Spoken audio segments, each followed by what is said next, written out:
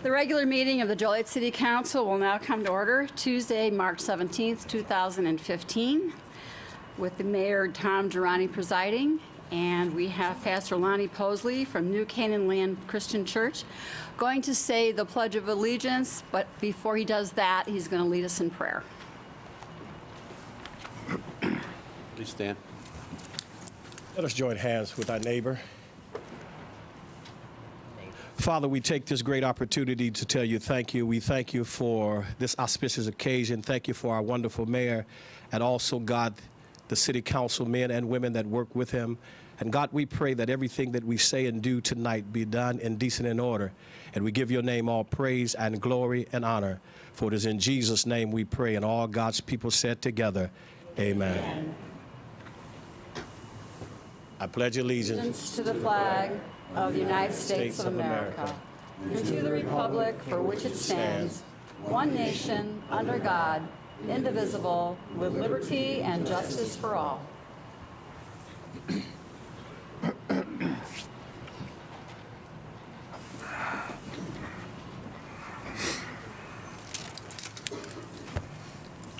Start with roll call. Mayor Giarrante, Here.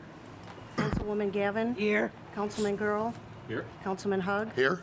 Councilman McFarland. Here. Councilman Morris. Here. Councilman O'Dekirk. Here. Councilwoman Quillman. Here. Councilman Turk. Councilman Turk, uh, this evening is his father's birthday, so he's taking his dad out to dinner. Okay, first under Mayor, Mayor Giarrante appointments. I do not have any this evening. Next is a proclamation, the Men of Valor II being accepted by Pastor Lonnie Posley and Pastor Clint Wilburn.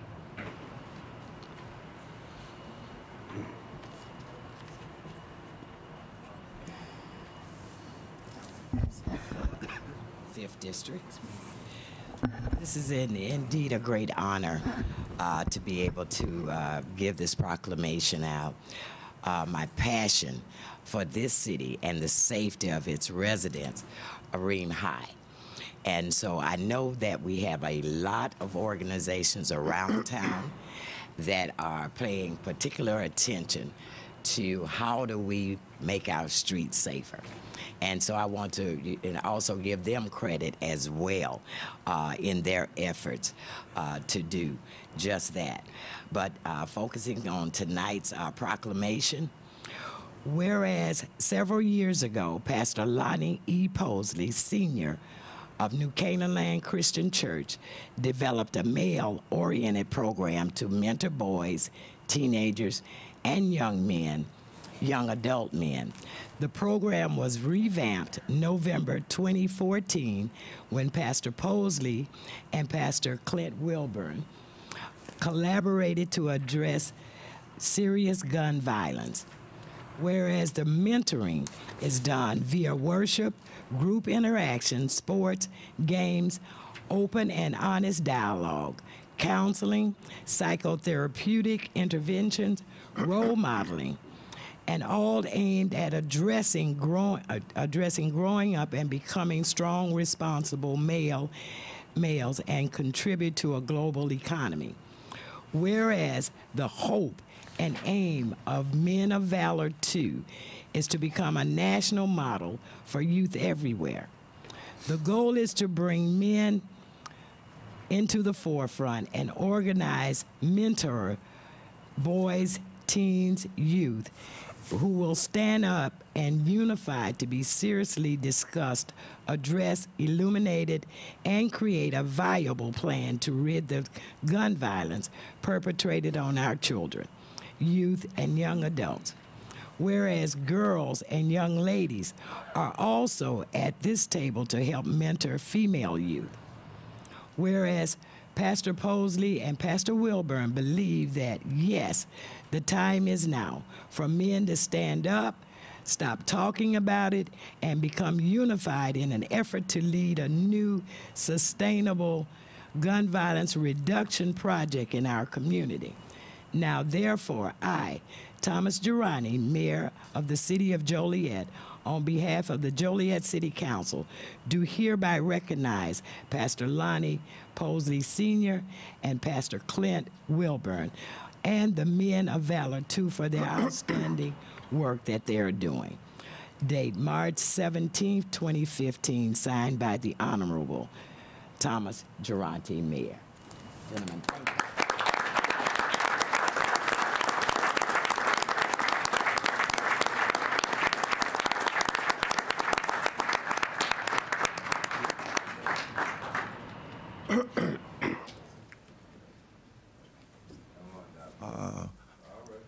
Honorable Mayor, we have a uh, presentation that we would like to make uh, to you and to the city at this time, uh, what we call a declaration. And a number of citizens from a wide spectrum of the community came together a few weeks ago and they placed their signatures upon the document. And we have blown up a document that we want to present at this time, and Pastor Posley will make the presentation. Um, On behalf of the Men of Valor Two, and to this great council, and to this, this great mayor, uh, several of your constituents was with us on February the 28th at the Joliet Public Library, and they signed off on this. And our and objective is to get 10,000 signatures to tell this world and the city, enough is enough. So we present this in honor to you, Mayor, and we hope that you accept it, and you can hang it in your office somewhere, and we thank you so very much. Thank you. Thank you. Open up.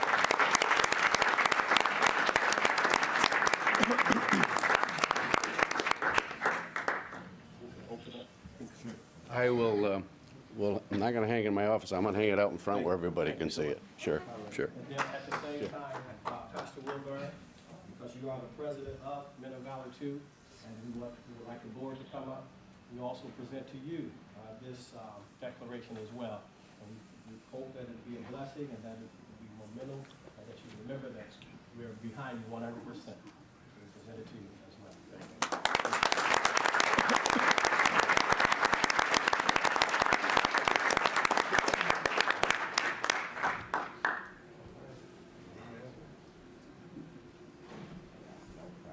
Thank you. Thank you. Keep up the good work, pastors. Thank you. Sure.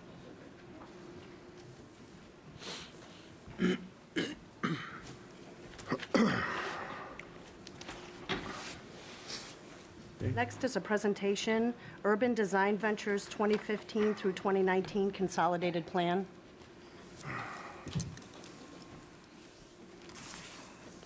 Good evening, Mayor and members of council. Uh, My name is Walter Hagland. I'm the president of a firm called Urban Design Ventures. We were hired by the city to assist the staff in preparing a five-year consolidated plan and its annual action plan for 2015. Uh, Every five years, uh, all of the federal entitlements are required to submit what's known as a five-year consolidated plan. Uh, This summer, we held a series of meetings, uh, uh, open discussions, uh, roundtable discussions, and interviews with the mayor, with members of the staff, with various public service entities, and and the directors of of various departments. Uh, We have prepared the plan now, and the plan has been on display since March 6th. Uh, The public hearing, uh, the second public hearing on the plan was tonight, uh, beginning at 5:30, when we took additional citizens' comments. And it will come before City Council at your meeting on April se- uh, 6th, and then submission to HUD will be April 13th. This year, the city will be receiving $889,834 in CDBG funds and $350,143 in home funds. Uh, We provided the uh, executive summary for council. Uh, There's six points uh, in there as far as priorities. It's housing, homeless, other special needs, community development, economic development, and administration and planning. I'm here tonight if to uh, uh, a- answer any questions and to present this to council so uh, you would have some uh, um, familiarity uh, with the uh, program when it's presented to you on the 6th of April. And uh, I'm available for any questions that council may have. Council? We just received these documents, Mayor, this afternoon. So maybe when you come back, we'll have questions, but I haven't had time to review. Sure. Anyone else? Thank you. We'll see you on the 6th. Thank you. Thank you. Thank you. So we have the approval of the agenda. Is there a motion to approve the agenda as written with the following change? Pull council memo number 134-15, award a contract for the well 24D rehabilitation project from the agenda. So moved. Second? It's been motioned and seconded to approve. Councilwoman Gavin, Aye. Councilman Gerl, Councilman Hug, Aye. Councilman McFarland, Aye. Councilman Morris, Aye. Councilman O'Dekirk, Aye. Councilwoman Quillman, Aye. Mayor Giarrante. Aye. Motion carried. Next is the appointment of Mayor Pro Tem. Is there a motion to appoint Councilman Turk to serve as Mayor Pro Tem for the term April 1st, 2015 through June 30th, 2015? So move. Second. It's been motioned and seconded to approve. Councilman Gerl. Aye. Councilman Hug. Aye. Councilman McFarland. Aye. Councilman Morris. Aye. Councilman O'Dekirk. Aye. Councilwoman Quillman. Aye. Mayor Giarrante. Aye. Motion carried. Council committee reports, CTIS committee. CTIS committee meeting met, let me see, I have my notes here. Sorry about that. We met last week, March, was March 2nd, actually, we met in the, um, here they are. We met in the council chambers over here, and the committee consists of Councilman Hug and Councilwoman Betty Gavin, and we discussed our website, that it's not very user-friendly. And the reason for that is there's some confusing uh, links on there. So what we decided to do was update it, and especially for community services, we decided to put in four categories. So the links would be under community services, it would be social services, neighborhoods, um, is such as neighborhood groups, homeowners associations, and um, uh, Councilwoman, can you help me? What was the fourth one? Do you remember? Social service group, did you? Social services and Out of that. homeowner associations. I don't recall. Scott, Scott here? Can you help us out? That it was neighborhood organizations. Neigh- Well, I said that, neighborhood organizations, homeowners associations, uh, social services, and that I'm- fourth one. I'm sorry, from the top, it's social services, quality of life. Quality of life, that was it. That's the most, Okay. one of the most important ones. Sorry about that. Anyway, uh, we discussed that, and the links will be up there, and this came to us um, because one of the groups named Con had a website, and they wanted us to reach out to the lesbian and gay and transgender community because they felt that they were being ignored. So we looked up their website, it's a legitimate organization, so that will be up and running very soon, but we decided that any other organization that has a 501c, uh, We'll check them out so that they'll have to form an application and a we'll have a policy in place so that those organizations, if they want to get up on our website, when you go to Joliet, look at community events or links, they can click on to anything, the neighborhoods will come up, or homeowners associations, or social services, or quality of life issues will come out. You can just click on that and click on that and get all the information that you need. It's still a work in progress. And uh, would you folks like to add anything to it, Betty or Councilman Hug? No, not at all. That's it. So if anybody has any input, uh, they can call me, they can call City Hall. And uh, like I said, we're still under review, but we want to make our website user-friendly. So if you're looking for something particular, you can just, it'll just pop up, one click and not 10 clicks, and where is this thing? Okay, thank you. That concludes our report. Thank you. Thank you. Finance committee. We held a finance committee and the uh, council boardroom this afternoon. Um, Oh, about 10 to 6 we started. It'll be a brief report. In attendance was Councilman Gerl, myself. Councilman Turk was unable to attend. He had a pressing uh, commitment that he could not get around. Didn't matter, it was very much housekeeping. Also in attendance was Mayor Giarrante and Councilman Morris, as well as our Finance Director, Jim Ghedotte, and our Director of Human Resources, Ken Mahalik. Uh, We we we reviewed personnel summary, travel expense report, and the uh, invoices paid. In other words, we paid our bill- bills. Everything was determined to be in order. The only other item that was brought up by our Director of Finance, Jim Ghedotte, is we are moving forward now sending the formal letter to reissue the last of five bonds. The, the uh, four that we issued, and this one here should be, it doesn't uh, extend the bond life at all. It'll be for the same remaining eight years. We saved quite a bit of money when we reissued four bonds in the fall. We're reissuing this last bond, which was issued in May of 2005, and is approximately $6.8 million. So what we'll essentially will do, once our bond company, Bernardi, um, you know, issues the bonds and gets investors, we'll, we'll save money. And that's pretty much the report, unless I've missed anything, John. Okay? Public Safety Committee? Uh, Yes, Your Honor. The Public Safety Committee met uh, this evening as well. Uh, We had two items of business that we discussed. The first item uh, is on your agenda. It's uh, Council Memo 131-15. Um, We heard a report from Stanard and Associates uh, to perform testing associated with the entry-level firefighters exam. Um, As most of you know, uh, that list, the firefighters list, uh, expires on May 15th of 2015. Uh, So this is merely just to get us a a good list to, to work off of. And uh, as I said, uh, Council Memo 131-15 um, is basically approving Stanard and Associates to administer that test. The next item of business that we discussed was Council Member 146-15 basically what we have here is that, as you recall, uh, I think it was either last, I believe it was last month, we approved um, a- the purchase of 11 uh, police interceptors, 11 police vehicles um, with uh, um, uh, Rod Baker Ford in Shorewood. Um, Rod Baker was not the lowest bidder. However, there was a very small difference as far as between the lowest bidder and Rod Baker Ford, and we felt that it would be best to go with uh, Rod Baker Ford, since they were local, uh, they employ local people, and, um, um, and that sort of thing. However, when Rod Baker was informed that they were selected to, uh, they were selected to provide these vehicles, and when they went to purchase the vehicles from Ford, unfortunately, uh, they were unable to do so because Ford stopped manufacturing or selling the 2015 model. So in that case, what we had to do, we're going to have to do is, is cancel that uh, uh, contract and approve a new contract approving Morrow Brothers Ford, uh, who was the, actually the lowest bidder uh, to purchase these 11 vehicles.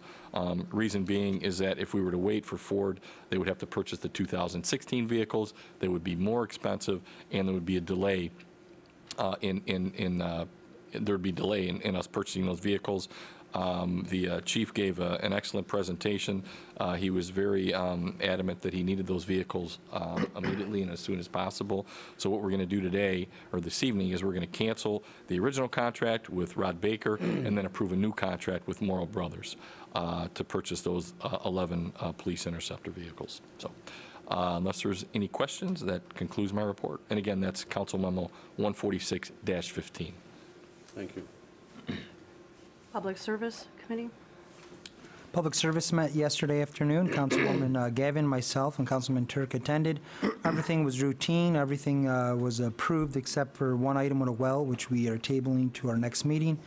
The only thing that I want to mention for uh, note is that the concrete retaining wall that's on the south side of Jefferson Street towards the old Joliet Catholic uh, High School, which is now the Victory Center, is deteriorating, and we are approving a contract this evening to uh, basically make improvements to the existing retaining wall.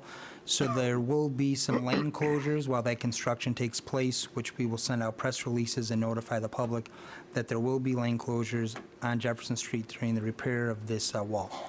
That's all I have to uh, report on our uh, committee meeting, unless Councilwoman Gavin has anything to add. Evident. Everything, sir. Thank you. Thank you. Thank you. I show no other reports. Next is the consent agenda. Approval of minutes. It is recommended the minutes of the pre-council meeting held on March 2nd, 2015, and the minutes of the regular council meeting held on March 3rd, 2015 stand approved as recorded. Invoices paid report, treasurer's disbursements, and regular claims. It is recommended this report be received and placed on file. Council memo number 117-15, posi- position vacancies. It is recommended the city manager be authorized to fill one fire captain position with subsequent vacancies and one project manager position. Council memo number 118-15, regular payroll, February 6th through February 19, 2015. $3,167,877.35. It is recommended said regular payroll be approved. Is there a motion to approve said consent agenda items? Second. Questions? Pauline? It has been motioned and seconded to approve. Councilman Hug, Aye. Councilman McFarland. Aye. Councilman Morris. Aye. Councilman O'Dekirk. Aye. Councilwoman Coleman. Aye, with the exception of those pertaining to my employer. Councilwoman Gavin. Aye. Councilman Gerl. Aye. Mayor Giarrante. Aye. Motion carried. Next, licenses and permit applications. Council memo number 120-15, issuance of a Class E liquor license at 81 North Chicago Street, Venezuelan Bowl. It is recommended, recommended Venezuelan Bowl LLC has issued a Class E liquor license. So moved. Second? It has been motioned and seconded to approve. Councilman McFarland. Aye. Councilman Morris. Aye. Councilman O'Dekirk. Aye. Councilwoman Quillman. Aye. Councilwoman Gavin. Aye. Councilman Gerl. Aye. Councilman Hug.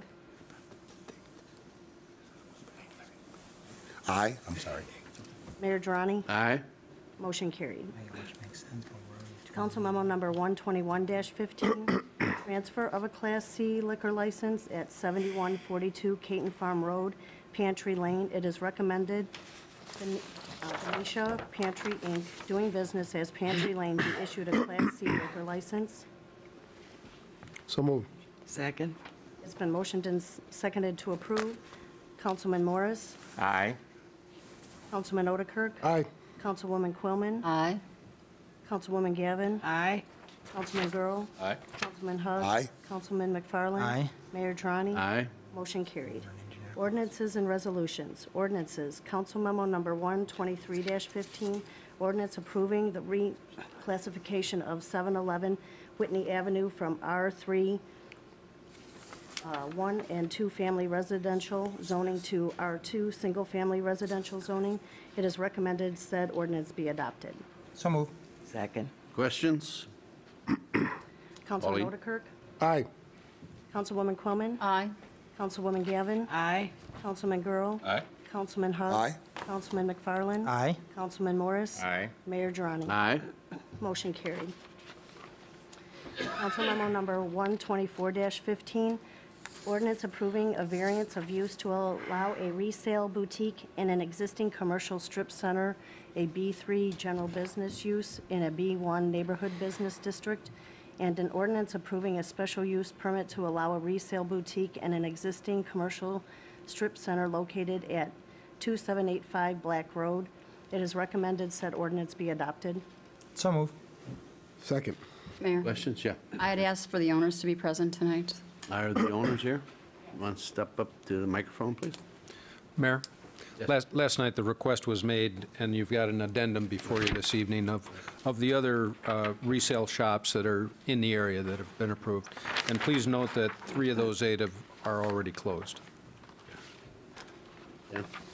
Well, there was some question last night about what types of uh, items you'd be selling in your resale shop. And so I thought, well, the best way to resolve that is have you come and explain your shops for us. Okay. Um, children clothes, children toys, uh, adult clothes, adult uh, shoes, uh, a few furniture uh, items, which would be on my website because it's only a 600 square feet store, so I wouldn't be able to house them there. So I would have a website and a storage space where I would show the uh, items if um, someone wants to see them some lotions, uh, hand lotions, things of that nature. Okay, Eric, there's my question. How do you resell lotions? Well, I have, um, I, I buy lotion and I buy it at a small price and then I can resell it. But they haven't been used before? No. Okay, when I hear resale, it's something that's been gently used and brought back. No, Okay. some of the items are new. Okay. Like the So you're lotion. type, you're really a cross between Plato's Closet and Clothes Mentor that's over there on um, Plainfield Road? I'm not familiar with that, but I, I do have new and used items uh, for sale and I will be doing some consignment, small consignments. Okay. Does that satisfy you, Councilman McFarland? I didn't bring it up. Oh, yeah, you did last night. No, I didn't. Anyway, I think Councilman Hug brought it up. I brought up about the cars Okay, I being apologize. parked. You two sit back there, you talk all the time, so I, I get you mixed up. Any Councilman Hug, is questions? that That's a comment. Sure. I- And I'm satisfied. Um, And I want to thank you, Jim. Um, I did not realize that three had closed. My main concern was that we had talked about, about a year and a half ago, about keeping a cap on them. So just to clarify, we had seven until we, uh, should we approve this? We have seven currently with three that have, have closed, so we really only have four right now. Am I- Is my math right? No, we Unless we approve this one, which will make Recently five. approved uh, St. Vincent de Paul, we have five right uh, now. number eight. This will be six. Oh, I'm sorry, recently. Okay, this will be six. Okay, so thank you for giving me the information I wanted. Councilman, Mayor. Let's clarify, though. This is talking about west of Raynor Ave, the memo says. That's not citywide. This is west of Raynor. Right, along the Jefferson corridor. Yeah. Right. Thank you. What's your pleasure? Is there a motion? Yep, it's been motioned and seconded to Okay. approve. Pauline?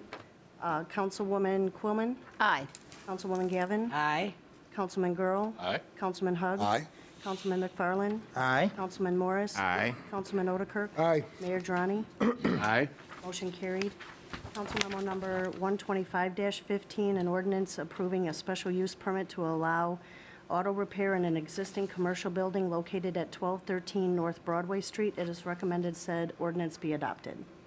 Any more questions? I know we had a few last night. Everybody satisfied? The cars. So moved. Second. Pauline? It's been motioned and seconded to approve. Where am I at here? Uh, He was last. Sorry, we got rid of Councilman Turk. Uh, Councilwoman Gavin, Aye. Councilman Gerl, Aye. Councilman Hug. Aye. Councilman McFarland. Aye. Councilman Morris. Aye. Councilman O'Dekirk. Aye. Councilwoman Quillman. I'm also going to vote aye. I did talk with one of the neighborhood um, folks over there that are very active with the Cunningham neighborhood, and they said they wouldn't mind having that there. And I believe Mr. Sheridan said the same thing last night, so I'll also vote aye. Thank you. Mayor Giarrante. Aye. Motion carried. Resolutions. Council memo number 127-15, resolution approving an intergovernmental agreement with the State of Illinois Department of Transportation for the upgrades to traffic signals on state highways with lighting, light emanating iodide LED module and uninterruptible power supply UPS and countdown pedestrian signals, Phase 2. It is recommended said resolution be adopted. So moved. Second? Pauline? Uh, Councilman Gerl, Aye. Councilman Hug. Aye. Councilman McFarland. Aye. Councilman Morris. Aye. Councilman O'Dekirk. Aye. Councilwoman Quillman. Aye. Councilman, or Councilwoman Gavin. Aye. And Mayor Giarrante. Aye. Motion carried. Council memo number 128-15, uh, resolution appropriating funds associated with an intergovernmental agreement with the state of Illinois. I'm sorry. Yep, with the state of Illinois. uh, Department of Transportation for the upgrades to traffic signals on state highways with light emanating iodide LED modules and uninterruptible power supply UPS and countdown pedestrian Phase Two. So moved. Second. Pauline? It's been motioned and seconded to approve. Councilman Hug. Aye. Councilman McFarland. Aye. Councilman O'Dekirk. Aye. Councilwoman Quillman. Aye. Of Got me. Uh, did I skip you? Aye. Councilman Morris, sorry. Councilman O'Dekirk and Councilwoman Quillman. Councilwoman Gavin. Aye. Councilman Gerl. Aye. And Mayor Giarrante. Aye. And motion carried. Uh, Award of contracts.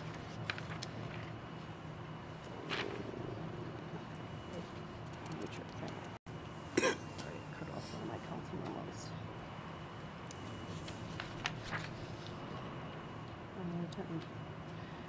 Um, Council memo number 130-15, purchase of tasers. Uh, Council memo number 131-15, approval, approve a professional service agreement for entry-level firefighters, paramedics. Council memo number 132-15, award a contract for the Lafayette Street, Joliet Street Parking Lot Project 2015. Council memo number 133-15, award a contract for the Well 27D Rehabilitation Project, Council Memo Number 135-15, award a contract for the Well Rock 2 Rehabilitation Project. Council Memo Number 136-15, award a contract for the Well Rock 3 Rehabilitation Project. Council Memo Number 137-15, award a contract for the West Side Wastewater Treatment Plant Detention Basin Crack Sealing Project. Council Memo Number 138-15, award the 2015 through 2016 landscape maintenance contract. Council Memo Number 139-15, award the 2015 Utility Restoration Program Phase 1 contract. Council Memo Number 140-15, purchase of sewer pipe television inspection crawler and camera system. Council Memo Number 141-15, award a contract for the 2015 traffic signal materials purchase order. Council Memo Number 142-15, award a contract for the 2015 lawn mowing service project utilities. Council Memo Number 143-15, award a contract for the Victory Center Wall Repair Project 2015. Council Memo Number 144-15, award a contract for the Elgin Avenue, Cracker Avenue, Scribner Street Water Main Improvements Project 2015. Council Memo Number 145-15, purchase vehicle for public utilities. Council Memo Number 146-15, purchase public safety vehicles, and I will not read these again, Councilman Hug. What I was gonna say. It is recommended Council Memos Number 130-15 through 133-15 and 135-15 through 146-15 be approved. Second. Just, just to make sure that the council, as I mentioned in my uh, public safety report, um, in uh, Council Number 146-15, not only are we authorizing the purchase of the 11 um, uh, police interceptor vehicles, but we're also canceling uh, the order uh, with uh, Rod Baker Plainfield, as I explained to my committee. So I just wanted to clarify. Uh, Yes, and I'll second that motion. It's been motioned and seconded to approve. Councilman McFarland? Aye. Councilman Morris? Aye. Councilman O'Dekirk? Aye. Councilwoman Quillman? Aye. Councilwoman Gavin? Aye. Councilman Gerl? Aye. Councilman Hug? Only my wife reads my mind. I don't know how you figured that out. Aye. Mayor Giarrante? Aye. Motion carried. Amendments, change orders, and payments. Council Memo Number 148-15, approved change order number one for the Haldeman Terrace Phase 2 Water Main Relocation Project. It is recommended Council Memo Number 148-15 be approved. So moved. Second. Pauline? It's been motioned and seconded to approve. Councilman Morris? Aye. Councilman O'Dekirk? Aye. Councilwoman Quillman? Aye. Councilwoman Gavin? Aye. Councilman Gerl? Aye. Councilman Hug? Aye. Councilman McFarland? Aye. Mayor Giarrante? Aye. Boring, ain't it, folks? I was doing my best to make it. Motion carried. City manager? A couple of things. First of all, I want to let you know that I've been in communication with the director at the Will County Senior Services uh, Facility, uh, gathering some more information. Uh, Should have uh, something definitive to report to you by the end of the week. Uh, The other thing is, is I'm going to go to the podium and do a little presentation and review with you the uh, multimodal budget.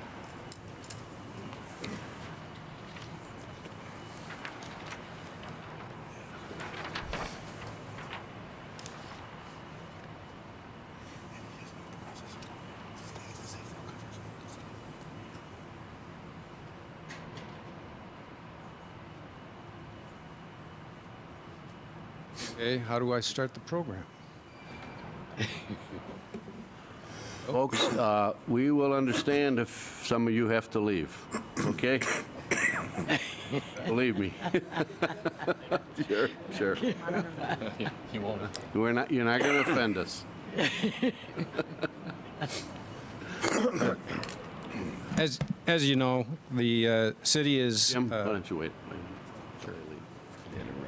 By the way, happy birthday, Jim. Huh? Thank you. Sure. Happy birthday. And I came to the meeting. Yeah, right. Well, it's his dad's birthday. Well, happy No one's gonna birthday, take you out to dinner. Right. How about your own dinner? Would you like to be excused? It's my wife's birthday. Well, happy birthday to Mrs. Shanahan. Right. it's Mike's birthday. You can always find a birthday party. it's Marty's birthday as well. And I'm telling the truth.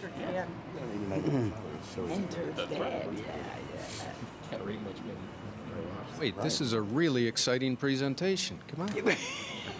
I can see that. All right. I'm leaving too, Mayor.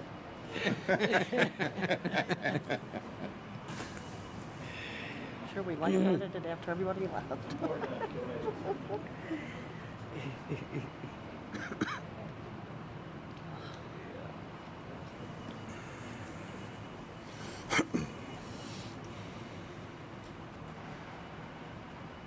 Well, there's, uh, as you know, in the uh, multimodal uh, facility here, we are uh, abandoning Union Station uh, platform and building two new platforms, a new train station with turnaround, and a new uh, bus station.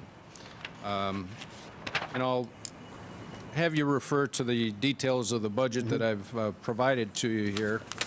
Uh, The first three items at the top that the city's responsible for is the engineering, uh, the acquisition of property, and the demolition of property. What we have are, uh, and, and what we've finished is in red. So really, the only thing that's uh, been completed is the rebuilding of the uh, lot on Chicago and Marion Street.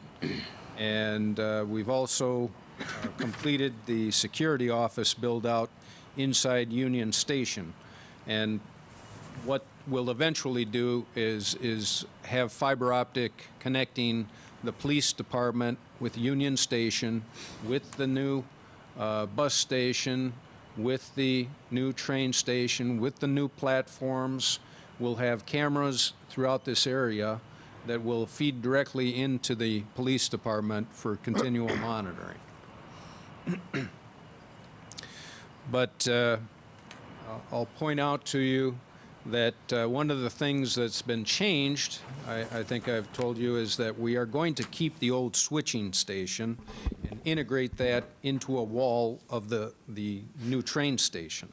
Now, from the ground level, uh, you will not be able to see that, even though it's a higher elevation. Obviously, the only place you'll really be able to see it is, is from the platform of the old Union Station. The other thing is that uh, I want to show you part of the redesign in order to uh, keep costs down is that uh, you'll, you'll see uh, the old design of the bus station as a long plaza with the building tucked up against the wall with, uh, you know, a long tunnel here. And part of the changes in the project is that we're going to take down one of the, uh, the railroad track bridges, and that will narrow that corridor and create a, a larger open space feeling. Uh, The other thing is that uh, we are moving the uh, bus station away from the back wall and bringing it forward to the turnaround for the, for the buses here. This will create a visual space for uh, police officers to see all the way through here. They'll be able to see all the way through the tunnel here, and it'll create a much more open plaza feel inside, uh, just outside the uh, bus area. Jim, what are we looking at here? What streets are This these? is, this is looking vertically down on where the new bus station will be. So going back to this, this slide, where you see the, the bus station right now, it's going to be moved out here. This whole wall will be taken out, won't exist. This tower will be integrated into the design of the new building. And I'll uh, show you, there, there's a floor plan, but there's looking at a side view, and you can see that that, uh, that light tower will be integrated into the uh, entryway space of, of the uh, new bus station. Mayor. Sure. So, Jim, just kind of go in, in order. So you're, so this sheet here, do you have this that you can pull up on the screen? no, You do not, okay. because nobody will be able to see it. Alright. So you're saying the city's in charge of the engineering and land acquisition? Yes, and the demolitions. And then the numbers you have on here, you have encumbered estimate 4 million, spent at eight 3.566 million. I was just, how did we come up with those numbers? Because this council, I just went back and pulled a little bit um, of council memos, council memos uh, from 2012 with engineering. Yes. And I'm getting that we spent in change orders a million six nine eight five, and we just approved two different ones thi- just this uh, past year. So I'm curious, so when you're giving us these estimates, is this including change order numbers? Yes, Okay. yeah. So they're really not true cost? Or, you know, what I'm saying, when I'm saying estimated, I mean, is there more change orders coming for design work, or is that unforeseen? We hope not. Obviously, there was redesign expense with, with the final design of, like, the bus station. And we had to do some redesign work uh, on the train station, but actually, we're going to save money on the construction by utilizing that, w- that back wall of the switching station into the new station. So we'll, sa- we'll save far and above what the additional engineering costs were in the redesign for the new uh, train station. So if you want to, looking at the budget, uh, on the far right, you'll see uh, Weller Grant, uh, PACE funds, and BNSF funds, and, and these are uh, various contributors. Down at the bottom left, you'll see the uh, what's called the global revenue sources. So you've got the total state grant funding, BNSF contribution, city contribution, the Weller grant, and uh, PACE and RTA funds.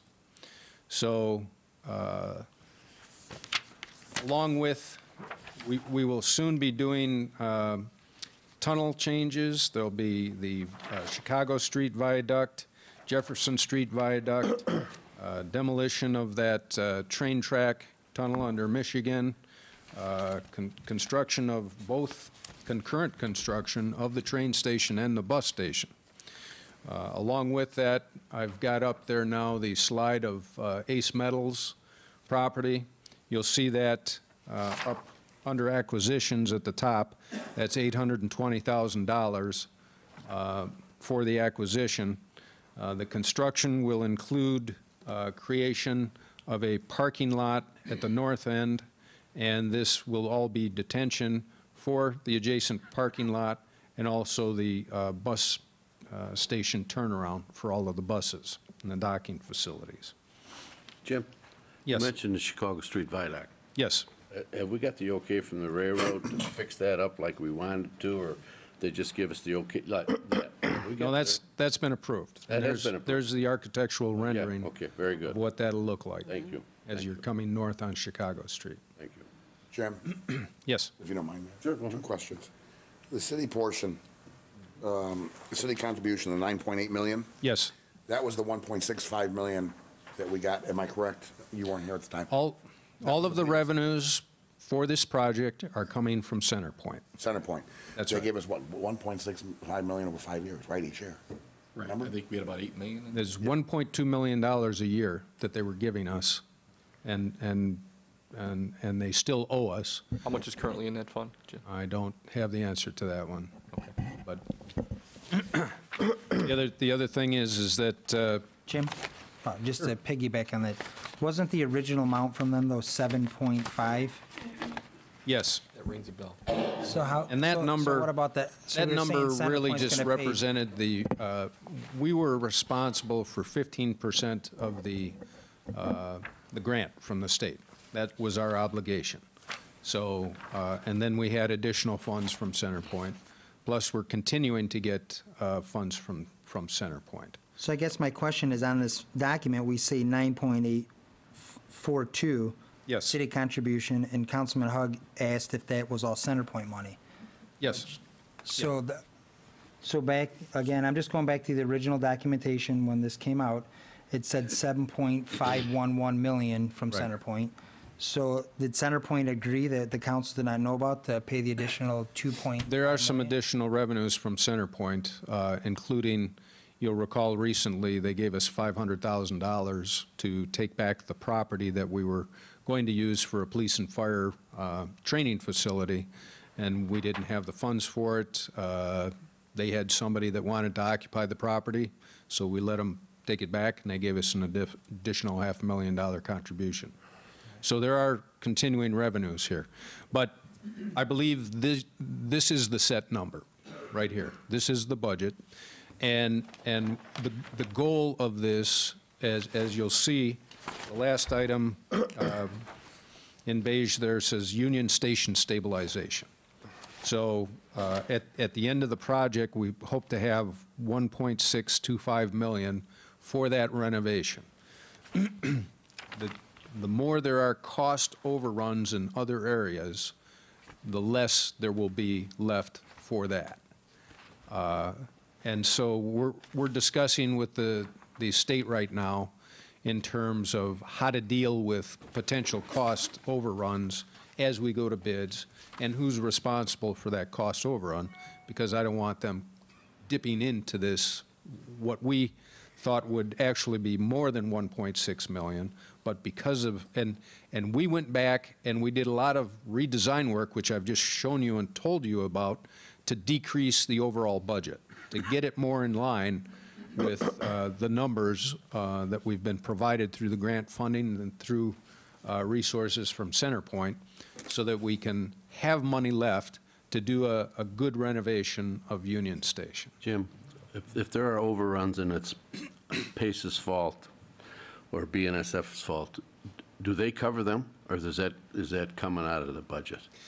BNSF funds are fixed. Uh, PACE is a, is a contribution.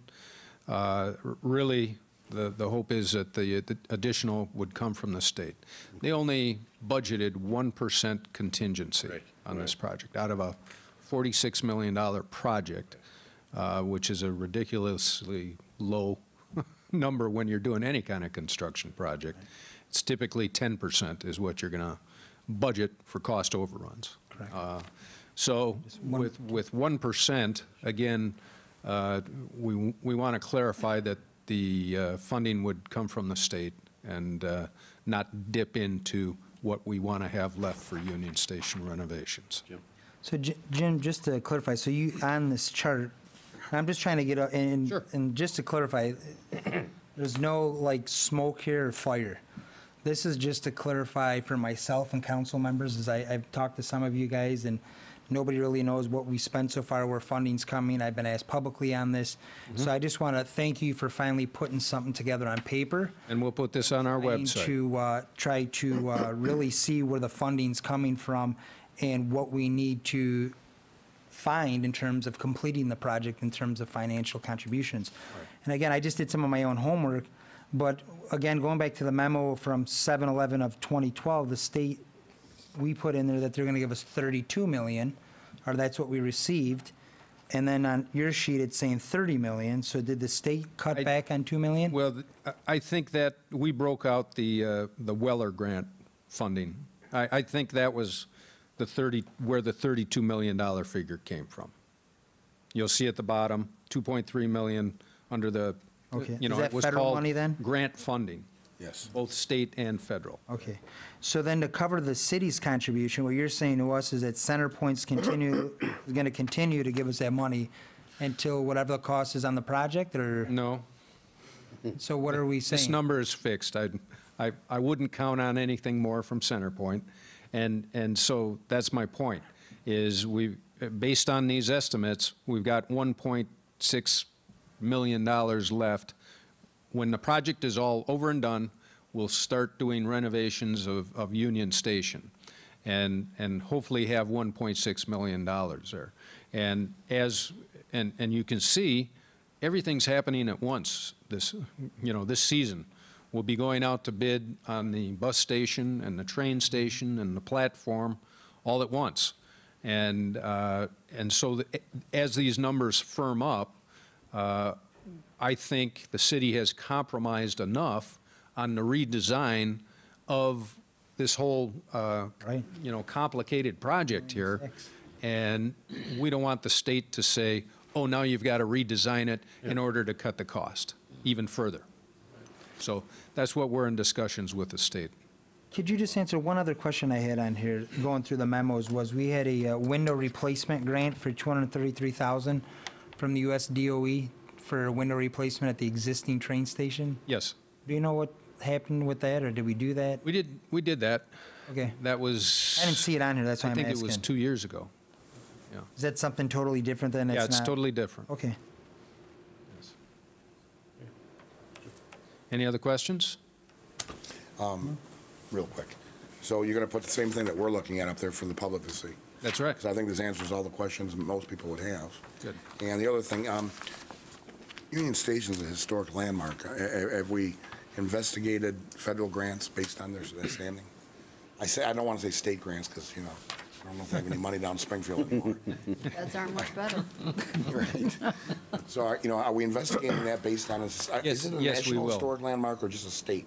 No, I think it is a historic, national historic landmark. So we are look, Somebody said na- somebody said something. Oh, there we go. Barb, national, okay.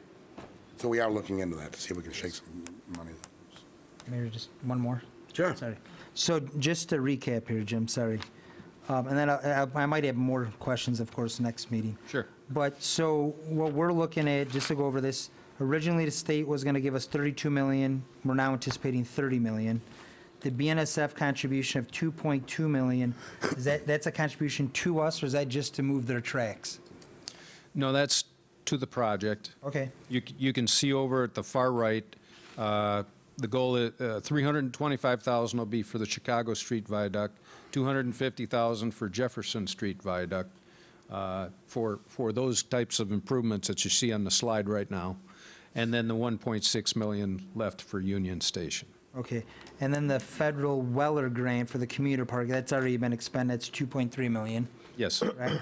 And then the additional RTA PACE grant, that's 1.79 million. So 40, you're saying that hopefully we come in at 46,121. yes. And if it doesn't come in at that dollar amount, do we have a Plan B? Because it seems, you know, I- on the radio today, you spoke that there wasn't a contingency of 10% factored into the, uh, the overall project cost. Right. And we're already over, I think, almost 10% on just where we're at today. And I think I read somewhere we're 18 months behind on this project. And we still have the Heritage Corridor platform, we have the actual, uh, uh, uh, help me out, the new train station, we have the actual bus parking lot and the pace station. So I guess my question is, the way we're currently moving is there's overruns. And thank God for Centerpoint that they've been able to cover that additional 2 million according to your sheet here. Yes. What if we do run into overruns in a deficit? I mean, are we looking at plans? Are we going to factor in the 2016 budget in a, in a separate contingency fund? That's, that's what we're in negotiations with the state with right now. That's the memorandum of understanding that we're trying to come to an agreement on, and that I'll present to you when it's ready.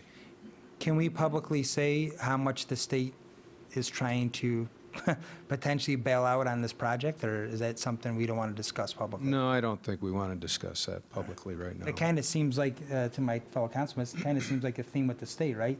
Senior services, our local daycares, and now the city itself. And we're talking about our income tax portions to the city being cut potentially $7 million. So um, I, I just think it's of some concern, and that as we know this could happen, that we plan accordingly, especially in, for 2016, that if we're at 10% now, and we've got these four major components that need to be completed, that we find some type of revenue stream, especially on the helm of, of the uh, decision today with Evergreen with a, uh, you know, $15 million uh, purchase price. So that's all I have, Mayor. Thank you. And then just a reminder, uh, you- we'd like to go into closed session. Okay. Thank you. New business not for final action or recommendation? Your Honor, Yes. I may. Mr. Hawk, um, and I guess I'll address this to you uh, in legal. Uh, The gas station over on Center, um, where are we with that, sir? You have any I spoke information? to uh, staff today, and we will uh, get a couple of estimates on uh, demolition at the property, and uh, we'll present those numbers uh, to you for your consideration. Thank you. Thank you, sir. Anybody else? Mayor. Yes. Uh, uh, Jim, uh, just some brainstorming over the weekend. I don't know if someone saw this or not. Um, Regarding the Rialto and the ongoing work that's being done there, not just with the marquee, but the other repairs they're doing, and seeing that they're in a financial crunch, has anyone from the city um, approached the building trades and asked them if they would be willing to uh, donate time or labor to the Rialto project? I think the mayor has some Uh, information on that. Yes, uh, we had a walkthrough last week. I got a hold of Doc Gregory from the trades. Uh, We had a walkthrough.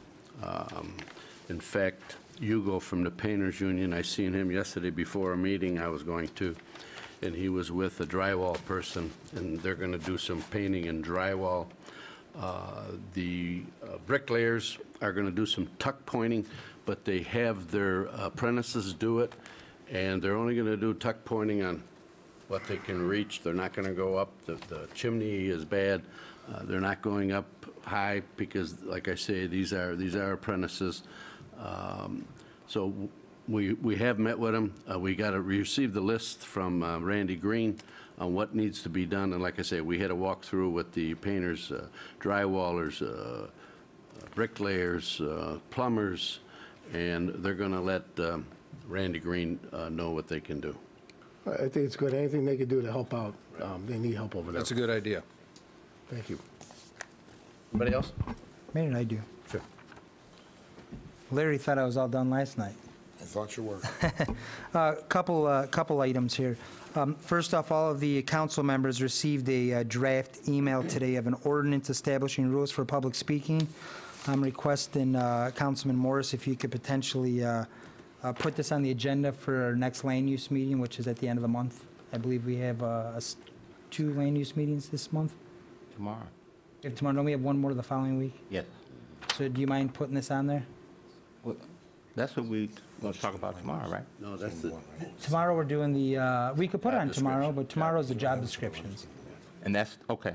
I see. You want to If you want to combine it, that'd be great. that's the rules of order for the commission, It's your will. Yeah. I'd just like to get Second some meeting. formal, right. And then also, uh, um, Councilman, or Councilman, uh, Mr. Hack, if we could possibly also put this on our website, the draft uh, Yes, we can do that. ordinance. I think it's important to get public input on the rules for uh, public speaking. Thank you. Second thing is, um, it's, it's been probably a month or two since we had the snowfall, and there's been a lot of dialogue on, on the snowfall and the, the city's response to the, to the snow, and the city's actions and, um, in removing the snow. And one of the things that I heard that was very um, disheartening to, to myself is whether or not we had staff um, that were informed by their supervisor not to put their plows down because of political reasons. And I remember when I first got elected, there was some concerns again with the timeliness of snow removal and whether or not a plow went down the street and, and, and when, and whether or not a subdivision was hit or not, or a street was hit or not. And I was informed that we have mechanisms on our vehicles that kind of track that type of uh, activity. And I asked um, if we could get a report on that, and I'm just asking the Director of Public Works if he could just kind of highlight um, over those two days exactly the miles in it that the plows are actually down plowing the, um, the, the streets. And when is it a plow is up when they're out there to plow the streets in a storm? So, Mr. Uh, Tristan, I've asked him, uh, I I notified him earlier today that I'd be asking this question. And I'd just like to clear the air for, for our residents and for those naysayers that are spreading those false rumors. Yeah, exactly. Um, when we're out snow plowing, unless it's, it's an event where it's an ice event only, or you've got a half an inch of snow, something very minimal, and that's a situation where we would not put the plows down. Whenever we have snow, lar- you know, large enough accumulation to plow, we put the plows down. Um, those other, s- those instances I mentioned, if it's a salt, if, if it's a, um, a ice storm, freezing rain, you know, maybe just, just a dusting of snow, we, we may not put plows down, but we would, s- we would put salt down typically in those events. Um, the major storm we had on, on uh, February 1st and 2nd, uh, obviously, our, our, we were out plowing the streets. The, our crews were never told not put, to not put plows down. That's never, I've been here 28 years. We have never given a directive like that. I'm not sure where that would come from, but um, they're always directed to put their plows down, plow the streets. Uh, It was a long-duration event. Um, As I explained before, um, and I confirmed this with a lot of my colleagues around Northern Illinois when I was working on the report with the city manager on, on our manpower. Other communities had the same issue. This was not a normal storm. This was a very abnormal storm compared to the storms we typically have in the middle of winter. Abnormal because it was very warm when the snow started. It was raining Saturday evening. I was out and about. It was raining, misting. Then we got very, very wet snow for about eight inches. Um, and it stayed warm, 32, 33 degrees. It was very, very wet snow. Our guys were out plowing, our crews were out plowing the main streets. But when you've got that wet, that type of nature of snow, cars can drive over it very easily and it packs down. then it's very difficult to plow off when it's packed down. You may pack down eight inches down to about three inches. Um, then about midday on Sunday, the temperatures start dropping, and we start we, we end up dropping down to about 20 in that, that before the, the Sunday evening was over. This, this was a storm again. It started late Saturday night, pretty much snowed all day Sunday. Um, we got dry snow on top of that. So when we were out plowing, you, the hard pack you create on the bottom was very difficult to come off. We had a lot of incidents where we had more than the normal amount of mailboxes being hit because this heavy wet snow below the dry snow was actually kind of pulling our vehicles off the road, pulling them over the curbs, and they were bent, they were bumping into mailbox more than normal. So, um, obviously, with such a wet snow, to, to add to that information, we never have trees down typically in the middle of winter from a snowstorm. We had trees down all over the city from this snow event. We had a, our, our crew was out plowing snow. We could, we didn't have time to go out like in the summer if there's a severe thunderstorm, you know, hopefully, hopefully, yeah, not a tornado. We had a few tornadoes, but severe thunderstorms, we've had, we've had winds, windstorms where our crews have to go out, and cut down trees, get them off the road, clear the roadways. We have trucks available to do that. Our crews were not able to do that. We had trees down all over the city. We ended up hiring Homer Tree Service to come and pick up branches that were down. Again, very unusual for this time of the year. Um, I, I talked to folks from Rockford, Naperville, Aurora, Plainfield. Everybody had the same, the same thing was out there where you plowed snow, you got it all, you, you got, you got through your whole, your whole city maybe in about a day and a half, and then you kept plowing every day thereafter because the sun would come out, it would warm it up, it would melt a little bit more of the snow, and it would, the, the, the hard, some of the hard pack, at the top would fluff up, you'd plow it off, and people, people kept saying we didn't plow our street. Well, we, we had plowed our streets, and as part of this, this, the report that our, our roadways engineers turned, turned, uh, submitted, it shows, that with the GPS showed where trucks were out plowing. Um, that's, that's the nature of this storm, though. Very unusual. It was the same nature, you know, the same event that hit the whole, the whole northern Illinois. And again, we kept out there plowing. We, we were out for four days, five days after we plowed. We plowed every day, actually through Saturday of that week. By the time we got down, to, by the time we, at the end of the day, Saturday, we were pretty much down to bare pavement everywhere, including residential streets. Very, very few rare cases that weren't. Um, on the report, it indicates in green with if, if the plow is down, in red if the plow is up. Um, there are instances where there are show on some of these. And, and, and first of all, it's not every one of our vehicles. Some of the older vehicles do not have the GPS. We had 31 trucks out for the event. I believe there's 21 or 22 um, trucks that had their the GPS system working. Some of the old ones they weren't working properly, and we're getting ready to get new vehicles as it is. So uh, we we didn't update those. Um, so that's why there's not every vehicle in our fleet had had the GPS on it. But when when you see where there's, it shows in red where the where the plow is up. There's a few instances what happens. Sometimes we're driving over state highways that, that we don't plow, Larkin Avenue, uh, Jefferson Street west of Larkin, for example, uh, Plainfield Road past six corners we don't plow. Um, those are you may see red, uh, some red on there. The other thing is when we come to intersections, when we after we plow an intersection straight through both directions, you tend to have a windrow at the corners. Our guys will go back then and push snow into the corner itself, and you got to lift that plow up so you're not knocking off the back of the curb. So that'll happen. The plow will come up, go back down if they get done doing that uh, that activity. So, but generally, if you look at the sheets, you know the, the plows were were down, and um, again, I have you know I've been here 28 years. We've never been we've never told our folks don't plow again unless, especially in a storm of this nature. We end up with 16 inches of snow. Um, You know, the other thing I've, I've told the city manager, and um, we talked about this four years prior to this storm, just the same day, we had that, they call it the groundhog blizzard, it was 2011. And that was even a little more substantial. We actually had to haul snow out of the downtown. We because we had a lot of snow on the ground that time. We probably had a foot of snow, and then we got another 18 inch on top of it. So we actually had to haul with dump trucks and end loaders, scoop out the downtown and haul it out and haul it across to the Bi- Bicentennial, it's actually south of the Bicentennial Park where we stockpiled the snow. But in that event, it was cold the whole time. I went back and looked at my weather records. I've been, I've got weather records dating back to the early 80s in this area. And, excuse me, we were, when it was snowing at that event, it was very cold. Up before that event, it was in the low 20s, low to mid 20s at most, the warmest it got, and it got much colder thereafter. It was a lot easier to plow snow in that situation. So, but the bottom line is, our guys were, they were out plowing, the plows were down. I, you know, I don't know, I'm not sure where that sort of silliness, I consider it, comes out that uh, our plows weren't down.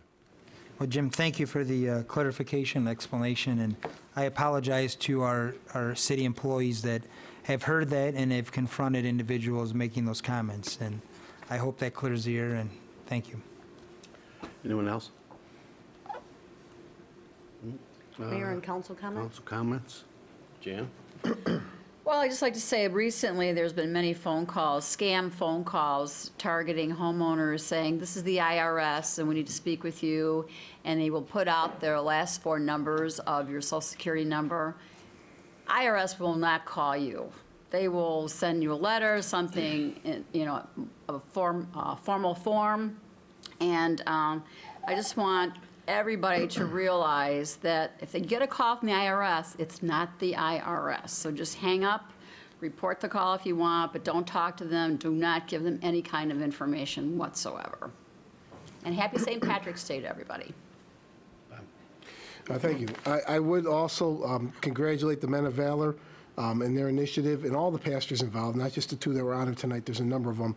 It's a great initiative, and I think it's well needed in our community. And certainly, uh, myself and I think others on the council will lend whatever support we can to that program. I also would like to thank the um, men and women of the St. John's Neighborhood Group and the Cunningham Neighborhood Group for the debate that they put on last Thursday at the VFW Cantigny Post. Also thank Councilwoman Quillman, Councilman Morris, and Councilman Hug for attending. Um, It was a great debate. It was um, nothing like what was advertised. It was a fair debate with, with two hours of questions from the audience. About 150 people were there. I think everybody who was there found it uh, thought-provoking and useful. And I think it's unfair the way that the organizers were targeted by uh, some in the media um, when all they wanted to do, they, these are people that care about their community, they volunteer in their community, and they want a, a good, honest debate, which is what it was. So thank you to I have nothing. Just happy St. Patrick's Day. Nothing. Just quickly, um, Plainfield School District 202. Um, I serve on their Foundation for Excellence Board. They're having their annual dinner, fundraising dinner in April. My, um, what's my mea culpa on me, I don't have the date with me, but go to www.psd202.org or call any of the schools and ask them if you'd like to attend the, it- it's, it's- they have it out at the Bolingbrook Country Club, and it's a really nice affair, and it's their main fundraiser. The Foundation for Excellence supply, uh, uh, provides money to teachers and students to further their education beyond the scope of what happens at the school, um, or supports them within the school on certain missions as well for education. So again, um, the Plainfield School District 202 Foundation for Excellence will be having their fundraiser in April. Go to psd dot, uh, psd202.org to get the information or call any of the schools. It's a consolidated school district out by us, so the grade schools, the junior highs, and the high schools are all part of one district. Call any of those schools, and they can direct you on the date, or call me, um, and I- and I'll let you know as well. Other than that, happy St. Patrick's Day. John? Uh, Just wishing everyone a happy St. St. Patrick's Day. Thank you. Betty? And happy St. Patrick's Day. I want to say happy birthday to the birthday Jim and Marty, and and certainly to uh, uh, Councilman Turk's father. Uh, so all of you all that have birthdays, happy birthday to you all. Thank you. Be safe. I want to congrat, I had the opportunity to sit and listen to young ladies from Joliet Central who are uh, trying to be Miss J. I didn't, I wasn't able to sit in for the Mr. J, but I would like to congratulate Anjay Holder, who is Miss J, and Daniel Valdovinos, who is Mr. J. I know there, the, the young ladies, uh, quite a group of, quite a group of young ladies. Uh, It was hard to, uh, to rank them, but uh, just want to congratulate them, that's all. A motion to go in executive session? So moved. It's been motioned and seconded to go into closed session to discuss personnel, collective bargaining, land acquisition, or conveyance pending or threatened litigation, after which the meeting will be adjourned. Uh, Councilman O'Dekirk? Aye. Councilwoman Quillman? Aye. Councilwoman Gavin? Aye. Councilman Gerl? Aye. Councilman Hug? Aye. Councilman McFarland? Aye. Councilman Morris? Aye. Mayor Giarrante? Aye. Motion carried.